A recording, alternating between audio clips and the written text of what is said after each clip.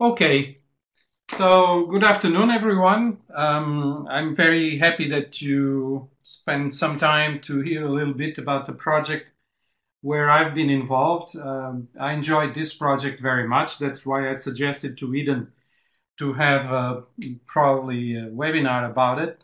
Um, it is a project where I was not a partner. I was a consultant for EUCEN. EUCEN was the partner. And um, this is a project where um, the partners or the consortium uh, try to evaluate and uh, produce uh, useful materials for uh, teachers that uh, are willing to use um, digital support in their teaching. So I hope that you enjoyed. It's nothing how do I say, out of uh, the ordinary, but it, it is very structured on one hand, and I think it's very useful for anyone that wants to select uh, uh, digital tools to help teaching, uh, and um, it is, um, uh, let's say, the result of very honest work and very dedicated work. Okay, so why did we do this? In fact, um, uh, there are many digital and mobile resources that we can use. Um, and sometimes uh, we want to reduce investment in software and hardware, and we want to know more about uh, what can we do. These are general motivations that uh, I present on this slide, but uh, as I mentioned, they are general motivations. Um, and um, I, am going to present in the first part um, nothing that it's new trick. Okay, so that's the reason why we have this slide. Uh, we recognize the importance, but um, in fact, uh, there's nothing magic or or, or innovative in what was done. It was just uh, an honest uh, analysis, uh, several tools available that can digitally support learning. Okay. This is the, the, the, the general set of uh, aims of the project Modern. Uh, in fact, uh, we produced four types of outputs in this project. Uh, and uh, I will stop my presentation at the end of, of the description of the project. You can make some questions, and then I'll show you what uh, was uh, done and uh, and possibly how you can use it. Um, this is the partnership. Like I mentioned, I uh, it is I was representing EUCEN. There was a large uh, representation out of two networks, one for lifelong learning and the other for uh, VET education, and the other were universities and two consulting organizations that gave support mostly in terms of, um, of uh, administration and of um, uh, performing some of the surveys and analysis. Okay, so the first output. This is a very interesting procedure, and I hope that someone does it in the near future for uh, other types of learning tools. Um, we picked up about 80 tools, uh, digital tools that could support that learning. We had um, uh, seven criteria to evaluate these 80 tools, and uh, we had a, a, classification system for those tools with 10 categories. And these 10 categories, I think, um, uh, help anyone but anyone. I, I include myself in that group, and you can try and see if you are also uh, included in that group. Anyone can uh, use this uh, audit to help uh, choosing a digital tool that is more suitable for what you want to do. Uh, and that comprises uh, video recording, web conferencing, structuring uh, e-learning course, um, anything. Uh, the other output uh, that we had um, uh, was uh, this uh, report. And this is a report about 25 of these digital tools. So out of the 80, we selected uh, 25 that seemed to us more interesting. And uh, we made the report for each one that it's not more than three pages long. We are aware that everyone is busy, everyone wants to have essential information. But the goal of each one of these assessments of the tools is to help. Um, and I have to look at the camera. I'm looking at the slide. I'm sorry. Uh, is to help people uh, finding the adequate uh, teaching tool that they want to use for the delivery of their course. That was basically what this tool assessment did. Um, like I mentioned, this is uh, some samples of what we did. Uh, we, for instance, we used the TED-Ed uh, uh, website uh, with a lot of materials, and this is one of the tools that we analyzed and classified. This is just an example. You have, like I mentioned, 25. This is one of the 25. Um, and uh, we even produced for this uh, TED tool um, a video uh, that it's one of the outputs also. That um, video and other materials that um, support anyone that wants to use uh, this uh, resource in teaching. Um, you can download it this is a PDF that you, so far when I produced this slide, was downloaded about a thousand times already. Um, and um, it is very use, useful. You, you can print it. You can also obtain a printed uh, version out of the coordinator. Uh, they can, I think they can mail it to you. Uh, but um, uh, this is also very interesting if you want to use it as a reference or your task tool uh, to to uh, support you in in choosing the, the toolkits. Now, what did we do? Um, we also produced, like I mentioned, some toolkits online uh, that um, are about uh, one hour or less for each one of the of the, of the uh, tools that we we uh, chose that um, has um, not only you have the pedagogic report, which is the assessment uh, output number two, you have an introductory video, you have some examples, and you can use the tool. It has uh, all the, the, the, instructions on how you can use the tool uh, that was studied and makes part of the 25 that um, uh, we have analyzed. So this is something that uh, it is online uh, and uh, for those that are beginner, and even for me, there was things here that helped me. That I don't consider myself a beginner, but to the use of some of these toolkits, I was. So it was very helpful for me. But you can try and make your own judgment. So this is the third output that I want to talk to you about.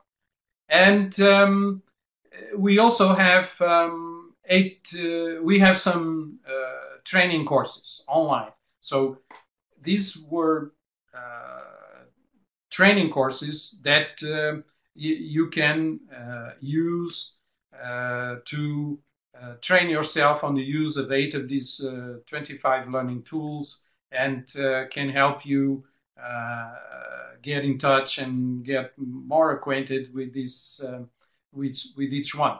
So basically, these were the four outputs, and um, and I'm waiting for questions if you have any. The, like I mentioned, we had these four tools, the audit of uh, learning tools. We made an assessment. We produce a toolkit to each to use each one of these 25 that we have chosen. And we also have um, training courses that you can uh, try. So I see that we have uh, 10 participants. If you want to send me a question by the chat uh, opportunity, uh, please do, and I'll try to answer. If there are no questions, I'll continue with the demonstrations, and we'll, uh, how do I say, we will probably uh, end earlier than I than planned. Um, so feel free to ask. I don't see anybody typing, so okay. Which criteria? that's um, how were the 80 tools chosen? Very good. Okay, greetings, uh, Carlos. Okay, very good. How were the 80 tools chosen? Um, they were chosen by the participants, and uh, they were among. Uh, we used the consultant organizations to uh, select the 80 tools uh, that were more. Uh, if you look at the report, you'll see that they are the 80 tools that were at the time. Of course, things changed in a year or two. This project ended last year. Um, these were um, uh, chosen by uh, the group as the ones that were probably more useful. We consider several perspectives uh, webinars, production of web webinars, uh, web meetings, uh, videos, blended learning, etc. So this, these were the criteria. now, what, what is interesting were the criteria that we use. We had 10 categories that range, and I'll show you in a moment, the, on the tool assessment uh, demonstration. The criteria were from cost to ease of use, to uh, availability, to compatibility. There were 10 criteria that we used. And um, uh, these were the criteria that were also obtained from uh, desk research, where people um, uh, will show uh, show where the, the, the tools uh, were more used and why they were used. So the criteria, the 10, the 10 categories that we classified uh, the 80 tools, then selected 25, were based on, uh, I wouldn't say popular demand, but popular use because uh, they were the ones that uh, were mostly used by people who, who selected or used these tools. Now, to get the link, of course, they are on the project, and I'll show you in a, in a moment. If there are no other questions, and did I answer Maria and Eva? If not, uh, I'll proceed. Maria, yeah?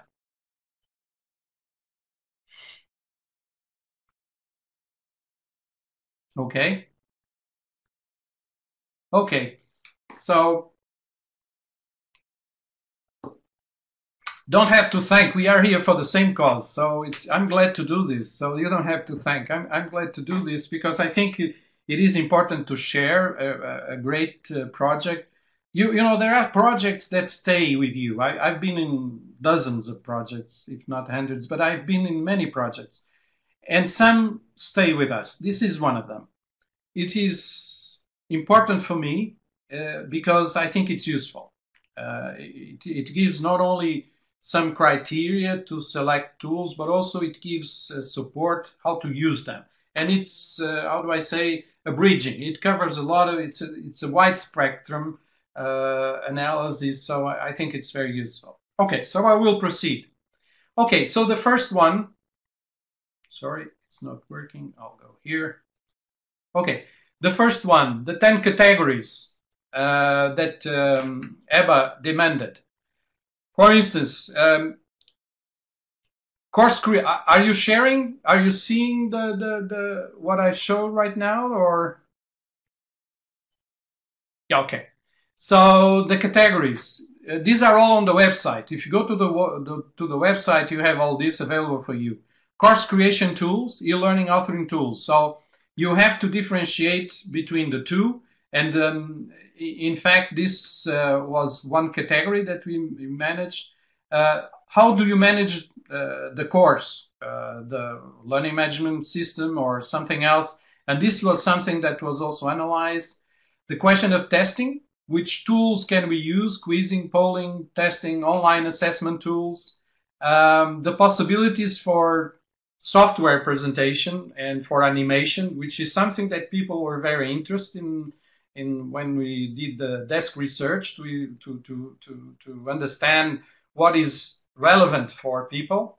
Video hosting services, editing tools for videos. How can you use videos? How can you edit? How can you improve your videos? Like I mentioned, and this is something that I think it's very important, and that's why we are here uh, to, today.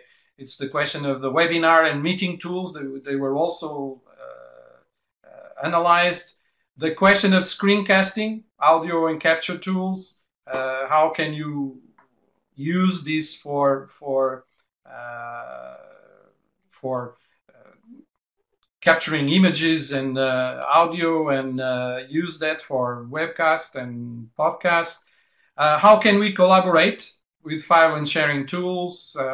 as you know, we live in a network network world, and this is very useful for cloud computing and cloud collaboration, like it's mentioned here on the on the on the website.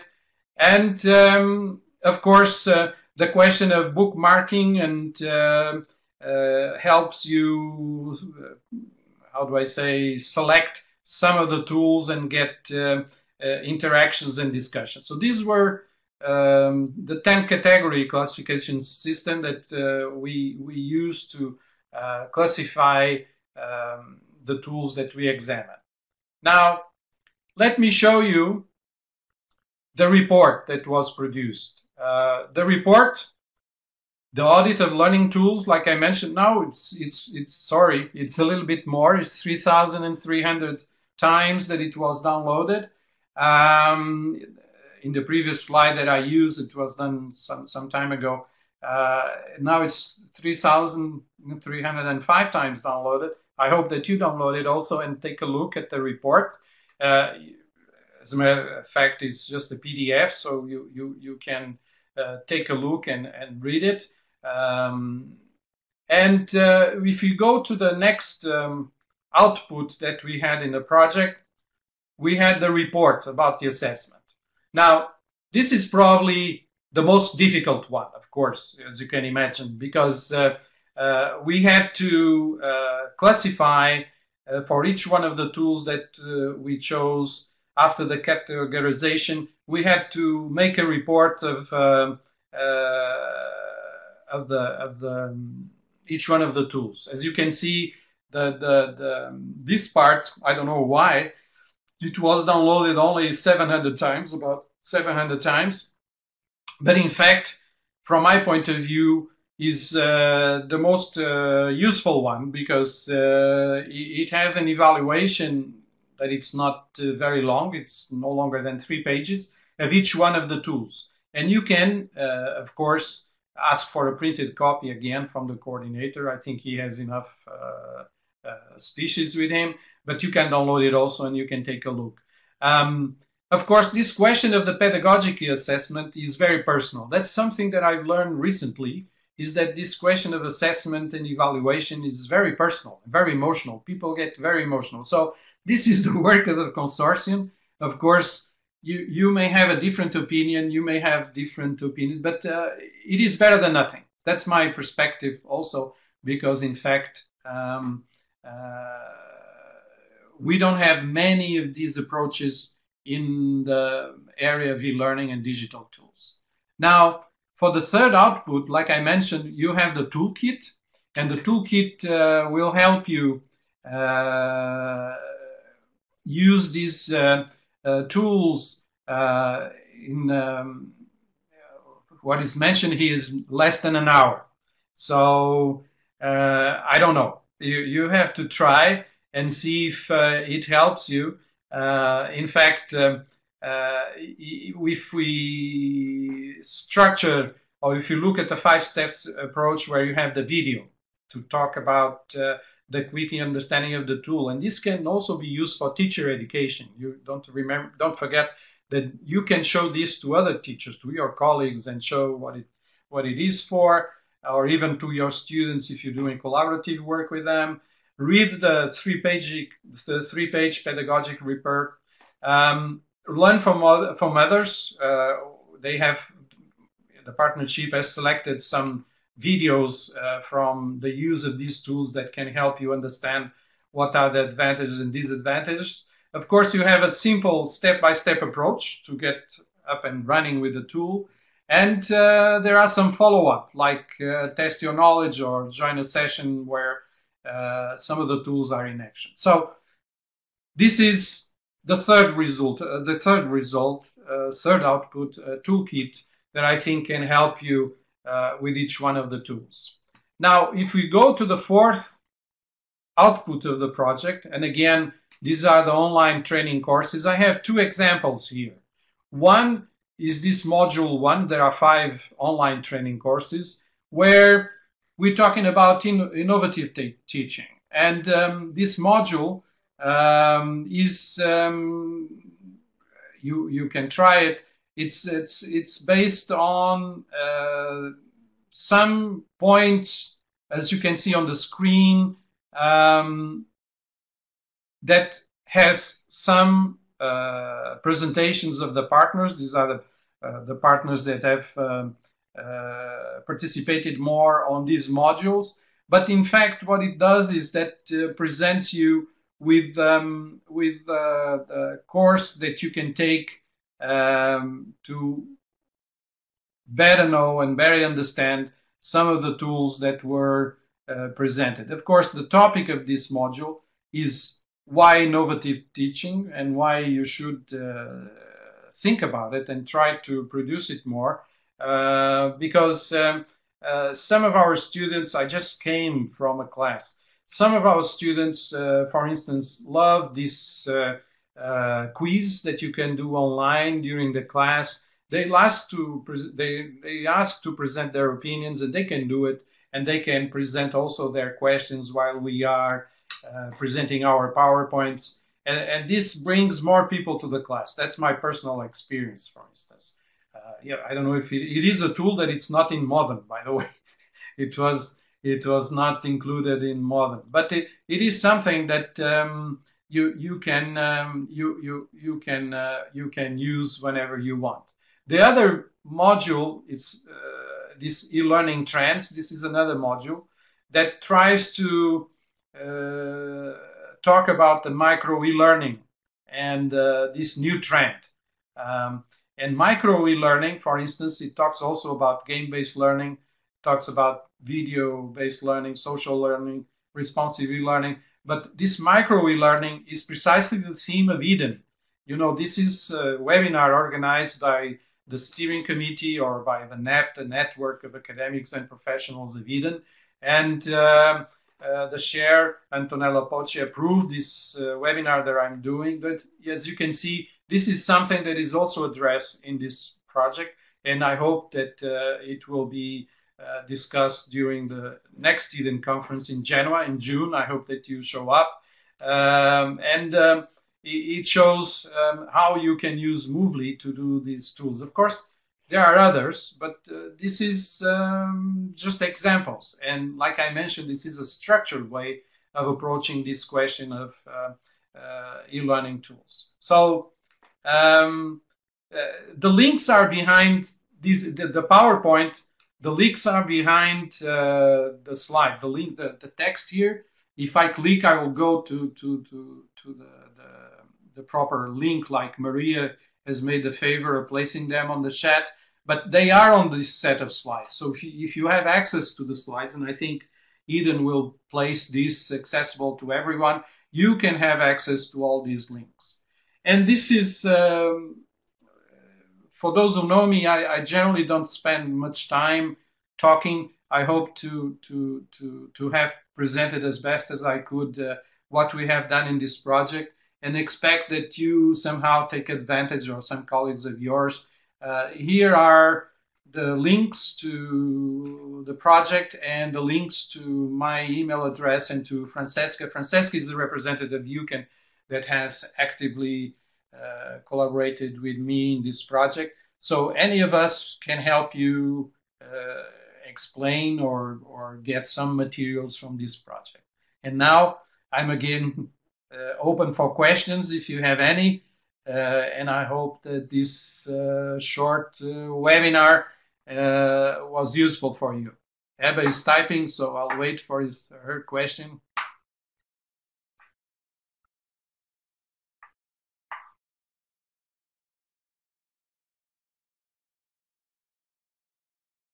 from the users, we have made several we have made several webinars uh, concerning the presentation. Not several webinars, sorry, several workshops in the EUCEN conferences, and um, the the response was very good because um, people most of the times were not aware of the characteristics of some of the digital tools. And for those who are beginning with some of the digital tools, I think this is uh, this is very uh, easy to, to use on one hand and very serious. I think the people who did this job, and I'm talk, talking about myself, I was just a consultant, I'm talking about the others. They did it with very uh, good uh, intent and very, uh, they were very open. All these classifications and assessments were done, uh, let's say, with very good, um, with very good intentions of uh, promoting uh, a better learning and a better teaching, of course. Uh, okay, yes, you were there. Thank you. Also, Anna, yeah, it's you can join it anytime. It, this project is uh, is uh, maintained for five years. The website and all the materials are open and self-paced. So feel free to to to use it. And if you have any questions, you can ask me or Francesca or the project coordinator. So Glad to help if we can. Anything else? If not, uh, try to follow the NAP webinars. We have uh, uh, we have some chats uh, at the end of the day, some some weeks, and we also have webinars. So try to join the Eden NAP webinars and the Eden events. I think Eden is, um, uh, I, I don't see the Secretary General from Eden, but I only see the Secretariat. But um, uh, Eden is a great place to network and to exchange opinions and to learn from each other. So try to, to get involved and, uh, and uh, let's see if we can meet in Genova in June. Okay.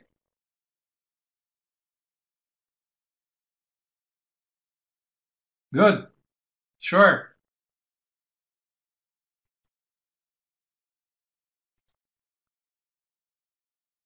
Thank you very much. And uh, we'll keep in touch. And like I said, uh, be glad to help.